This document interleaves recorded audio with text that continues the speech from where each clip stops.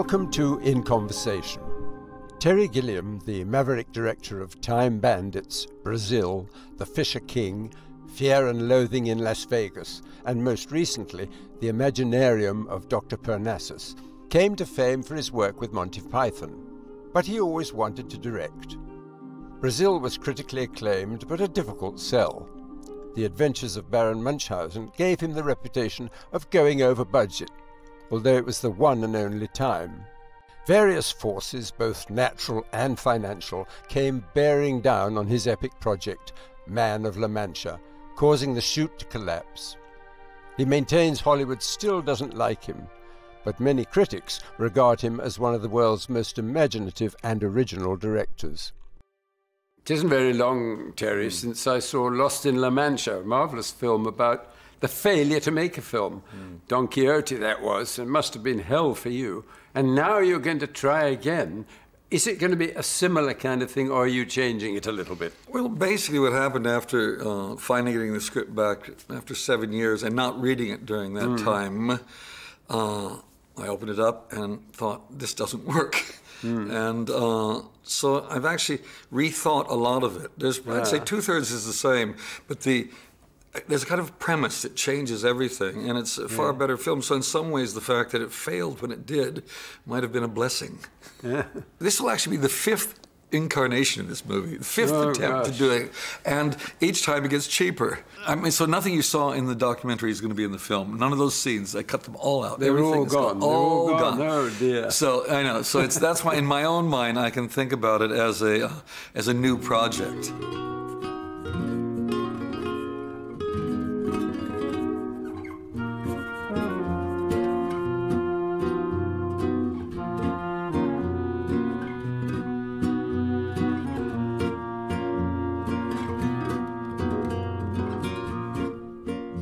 Did it take you uh, a lot to get out from under the shadow of Monty Python?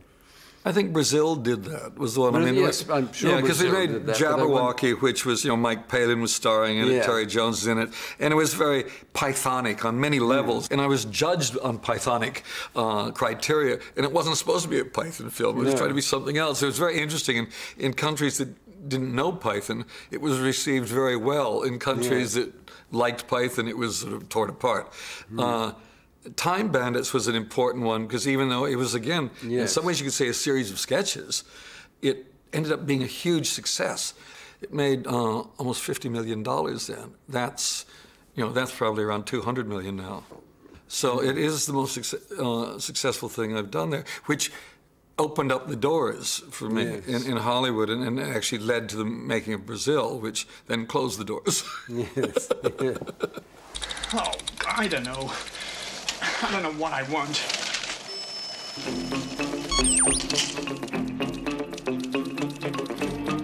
You won't believe this. Um, I know it's going to sound incredible, but um, but I've been dreaming about you. I mean, I love you. In my dreams, I love you. Thank you.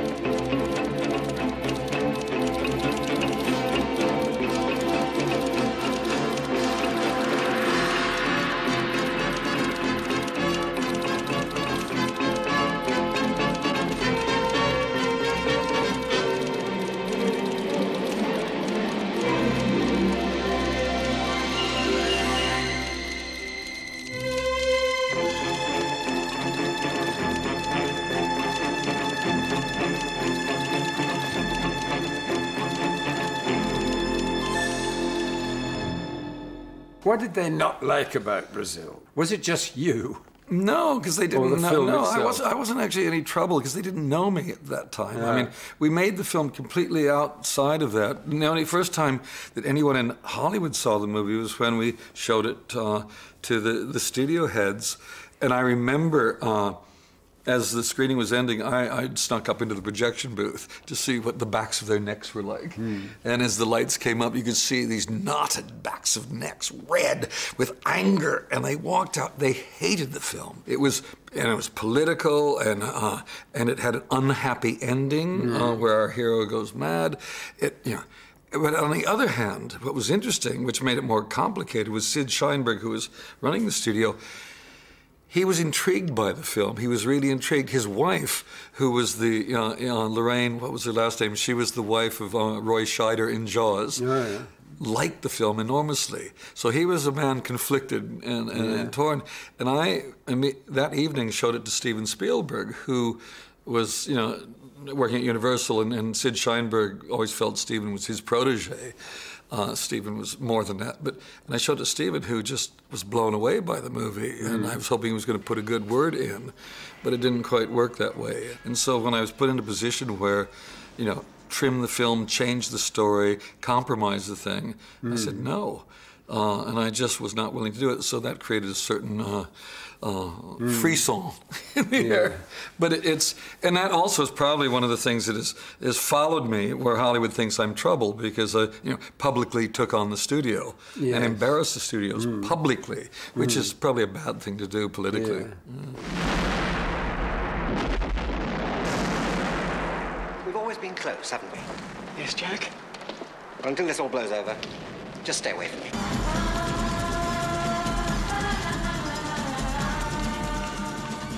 We started this these clandestine screenings for the LA critics, and on the night that Out of Africa opened in New York with everybody, the big film of the year for Universal. Suddenly, the LA critics said Best Picture Brazil, Best Screenplay Brazil, Best Direction Brazil, and Yeah. and they they'd never been caught in such an embarrassing situation. They had to release the film. I suppose Munchausen was uh, was the film which that didn't make very much money. Unfortunately, it was a lovely film. I liked the film Yeah, very I know. much. I remember your review. I it's on the poster. Absolutely. A lot of people didn't, of course. Of course. Well, that was my, you know, that was my comeuppance moment. Ah, it was, it was the perfect Wellesian, uh, uh, magnificent Ambersons moment, uh, and I got my comeuppance because the film went way over budget. It went out of control. Uh, Was that your fault? No, I actually can honestly say that it wasn't no because it, because I had storyboarded the whole movie. Yeah. It had been budgeted, everything. I had an uh, extraordinary producer who, uh, like Munchausen, was the greatest liar on the planet, and it had a lot of there were a lot of strange things going on. I mean, for a film that was supposed to be a 21 week shoot, in the sixth week, all the money was gone.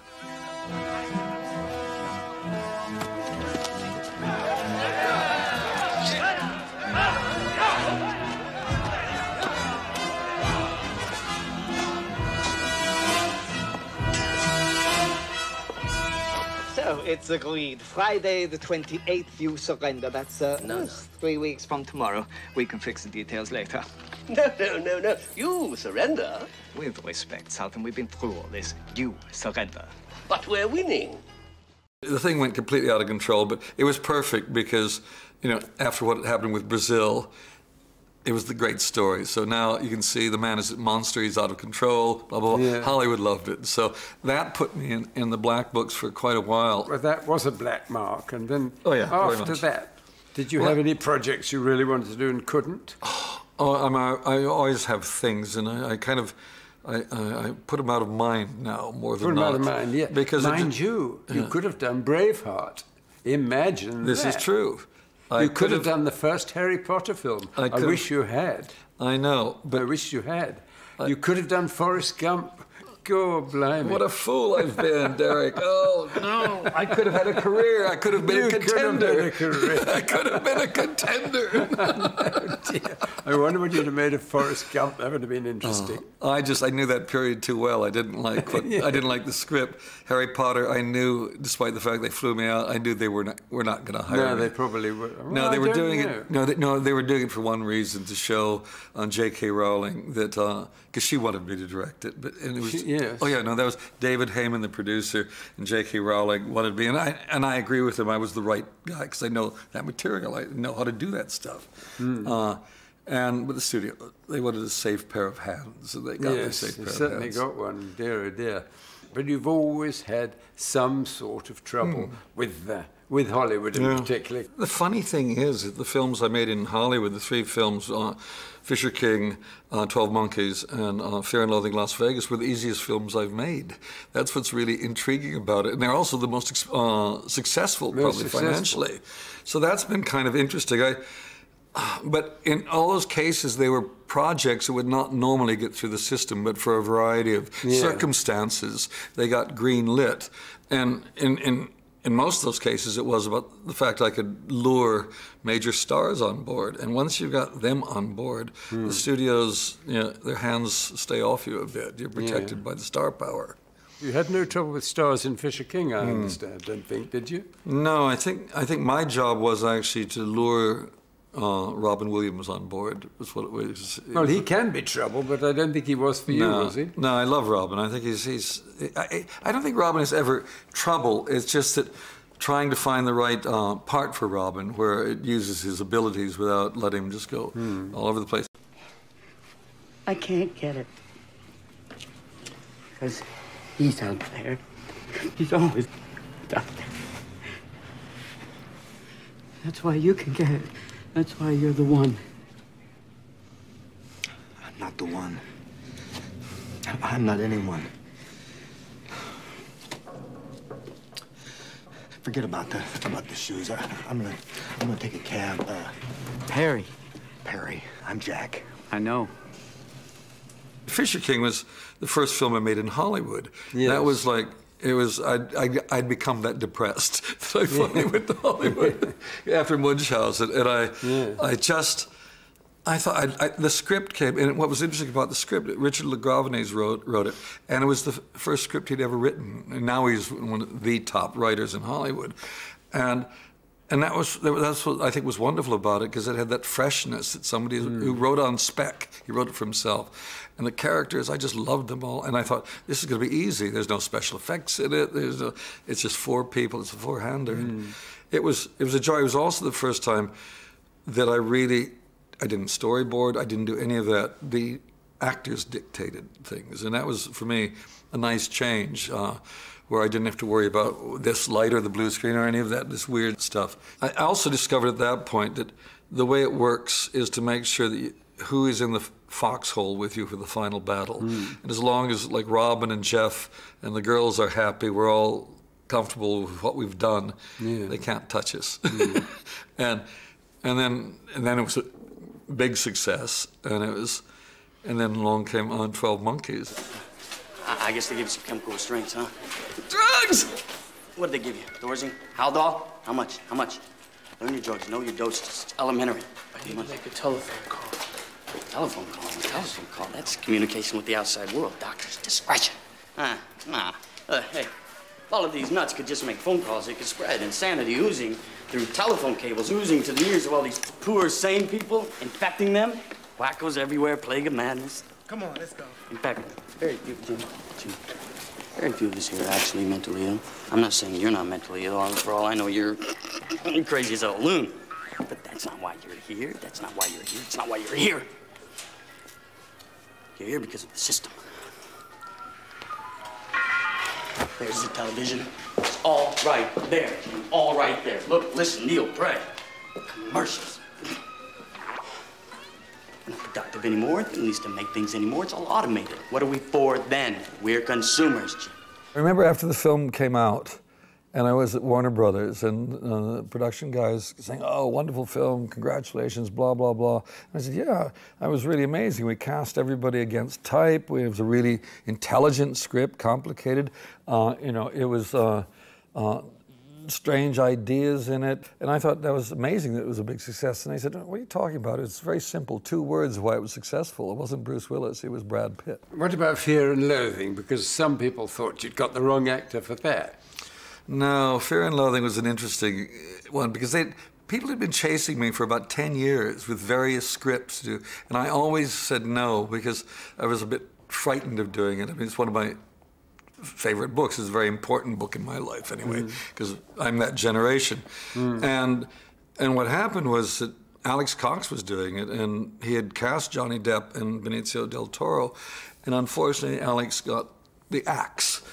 And they were looking for somebody, and it came to me. And I had wanted to work with Johnny for a long time. Uh, I thought he was phenomenal, and so I said yes. And we rewrote the script, Tony Grisoni and I, and off we went. And it was it, that was a joy because The thing about Johnny is he always wanted to be a python, Mm. and, and Oh, he- really? oh yeah, no, Yeah. He, he, his comic sense is brilliant, and we just had a ball. I mean, I said we're sharks, we're desert sharks. We only move forward. We can never look back. We have to keep moving, and that's the way we shot it. We worked fast and and constantly inventing things. And Johnny would, you know, I'd come in the morning. I've got an idea. He says, "Wait, I've been thinking. I've got a better idea," and it would, and things would just happen, and it was it was a joy. And then when it came to releasing it, the studio just didn't know what to do. And once again, it didn't fit. It doesn't fit in things. And they basically sold it as a uh, two wild guys on a weird and wonderful weekend in Vegas. I said, oh Jesus. I mean, if the thing's worth doing, worth doing right. This is the American dream in action.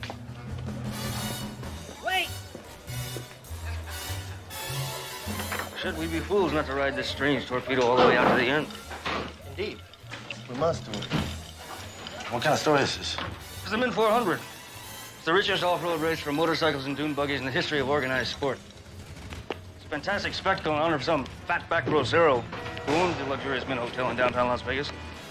At least that's what the press release says, anyway. Well, as your attorney, I advise you to buy a motorcycle. How else can you cover a thing like this righteously? Well, we're gonna have to draw it up on our own. Pure gonzo journalism. There are lots of filmmakers like you who want to make the audience think, and they generally make art movies. I know. Well, I'm caught in this thing, and I've just recently I've been dealing with the, the fact that my movies are somewhere between. They're not really art house movies, so Yeah. you know the the Haneke crowd, the, uh, the Almodovar crowd. That's a certain crowd, and then there's you know Tim Burton, Michael Bay. Uh, you know um, um, that that Hollywood thing. I'm stuck in the middle, uh, which is a weird thing. I like it because it's on one hand, it's, it gives me a kind of freedom. On the other hand, uh, I'm not sure either critics or audiences know how to deal with what I do sometimes. I mean, uh, because you know they're comic, they're silly sometimes, they're sort of visually extravagant, and yet the ideas uh, I think are quite serious that I'm dealing Mm. with. But I've always been. You know, Mary Poppins has always been my guide through uh, cinema. You know, and I try to, uh, you know, it's the sugar that helps the medicine go down. So I put a lot of sugar. That's right, yeah. But what sort of films do you like yourself? What have influenced you? See, I think it comes through periods in your life. When, and uh, you know, as a kid, it was Walt Disney uh, animated Yeah. films. I mean, I, Pinocchio is always on my top ten list of films. You know, I- Dumbo is mine. Is it? I mean, these were extraordinarily beautiful, wonderful films. Yes, and and I was as a child, that, and I also um, Michael Powell Korda's uh, Thief of Baghdad. These are the things I Yes. Mm. remember as as a child. And then I remember moving as I got older. I moved into Jerry Lewis and Dean Martin. It was comedies, and then. I woke up one day and I saw Paths of Glory at a children's matinee in the San Mm. Fernando Valley. I said, films can be about something. They can Yeah. really be about injustice. They can be about ideas. And then, then I started discovering European films. So then, so it was Kurosawa, Buñuel, Bergman. I mean, these were gods to me. And Yes. Fellini. I, I just I didn't want to watch American films. And uh, Mm. I'm I'm very bad the way I watch things. There's no consistency in the way I Ah, watch. well. And they come and they go. So I've got Mm. huge gaps in my film knowledge. I mean, when I bump into somebody like Quentin Tarantino or Marty Scorsese, it's embarrassing because they're referencing this, that, and the other thing. I know they I don't are, know what yes, they're, I don't know what they're talking about. You didn't Yeah. train in any way, did you, really? Well, well, I did. I remember the first.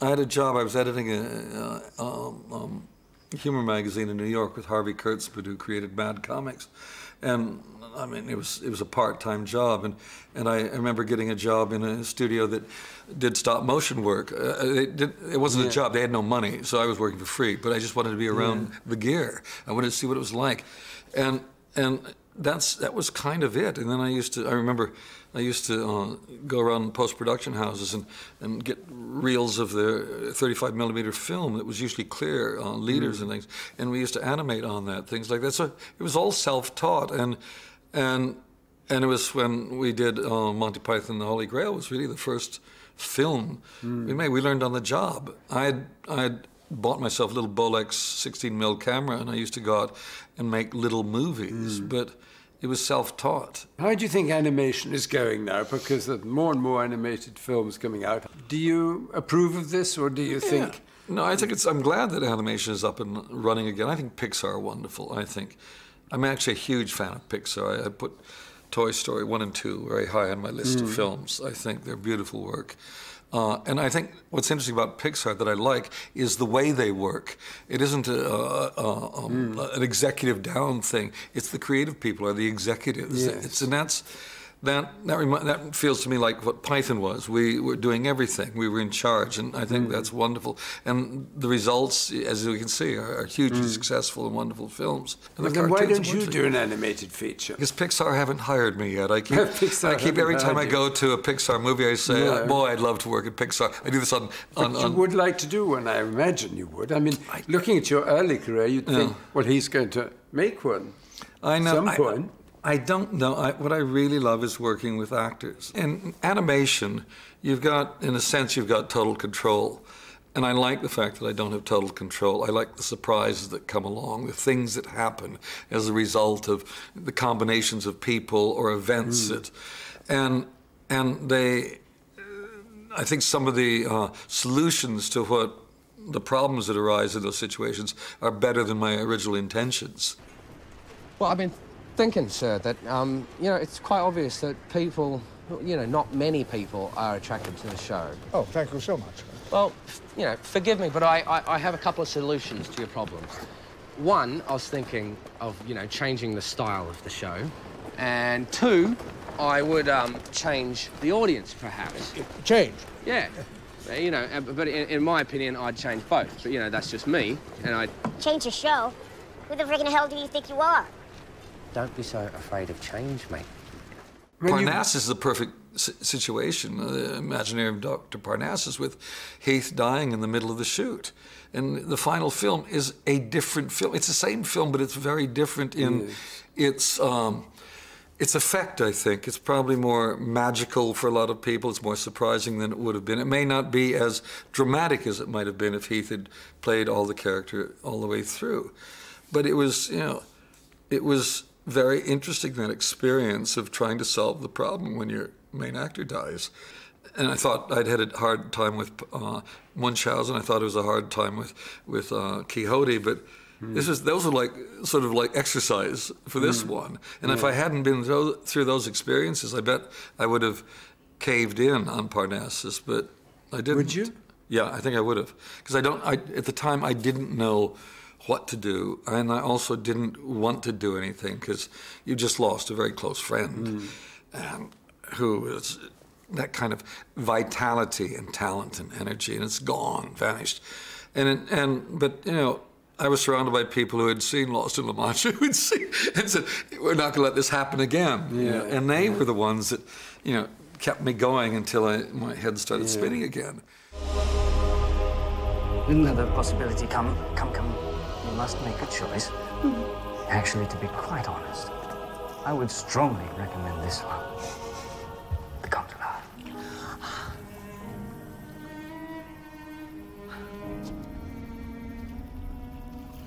But Rudolph Valentino, James Dean, Princess Di, all these people, they're all dead. Yes but immortal nevertheless. They won't get old or fat. They won't get sick or feeble. They are beyond fear because they are forever young. They are gods. And you can join them. Is there a thread through your work? My wife says I keep making the same movie. I just change the costumes. well, it's everybody all, makes the same movie yeah, all the time. It's, Unwell used to say that. Yeah, I know. It's uh, it's that borderline between imagination and reality, whatever that is. Mm. And reality can be even more bizarre than imagination, and vice versa. Imagination might be incredibly tedious, but it's I, and I and I just think I'm just trying to keep that path. And, each, and every film, I suppose, is just another exploration of where that borderline yes. is. But yeah. is it more difficult now to make your kind of film because they don't want to take so many risks? Yeah, I know. What I mean, right now we seem to be in an age where technology is the most important thing to talk mm. about. And so Avatar. Okay, now Avatar is a, it's it's a pretty extraordinary achievement Yes. on a technical level. There's no question about that. On all the other levels, we've seen the movie before in one form or another. But but Hollywood is it's like if you read now the press or what Hollywood is saying, 3D is here, as if Avatar was was day one of 3D. Well, forget mm-hmm. about the 50s, but but in the last several years there've been many 3D movies. Yes. But, and, and it's like, but now forget about those. Avatar, and then and, and when you read the press, and Alice in Wonderland is successful because it's the next movie to come along after Avatar that's in 3D. So everything is about 3D now. The, the studios love this because they can control technology. Yes, they can't right. control Mm. creativity, and so they think this is the answer: 3D, 3D, 3D, and. And I think if they approach it that way, it'll probably end up like 3D in the 50s because technology is not ultimately why we go to the movies. I mean, now when you see CG, uh, it doesn't have the same effect it did with when we saw Jurassic no, Park. No. And I think sub, subcon- Mm. some it's in, subconsciously we know, oh, that's just CG. We're, it's, we're in the Rococo age of filmmaking where it's filigree and spin. The more you can keep things moving and twisting and turning, the happier people are. Yeah. And, and you know, and, and it's not, there's very often, very seldom that you actually, okay, just stop. Let the Mm. camera sit there, let the thing develop in its own time. And Mm. people are not accustomed to that anymore, which is a pity. And, and so I think it's an interesting time to be living in. I don't think it's going to go away. The films, all I do, I do know that my films seem to last. That's what I like about them.